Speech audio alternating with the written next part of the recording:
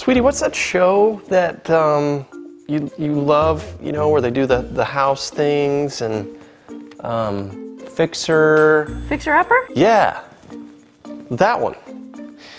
You know, I was recently reading that the key to their marriage is they love to go fishing on the weekends. Really?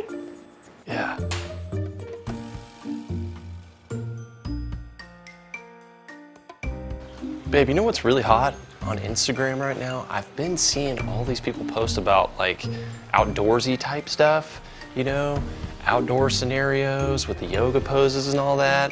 Oh. You know, I've been kind of seeing that lately.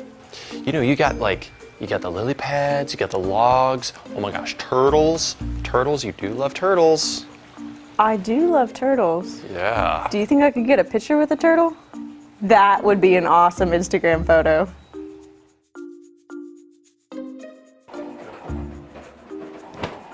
Guess what, honey? I just found out Channing Tatum has a lake house on Lake Fork. Wait, what? Oh, yeah. Yeah. No, I was thinking we could roll over there, Seriously? do a little fishing. You could check it out. I mean, you might even be outside. Who knows? Okay. I could go with you.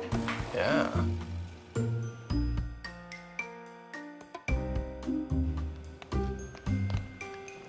You know, I was thinking, honey, we're sort of getting into that beach weather season. I know you like to have that tan. I was just kind of thinking, you know, if you came out on the water with me, we might could get to spend some quality time together, but also you get a tan as well and get prepared for that beach season, you know?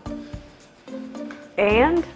I'm just saying, you know, it's good, it's a good win-win situation. Are you calling me pale right now? You're gonna have to do better than that. It's worth a shot.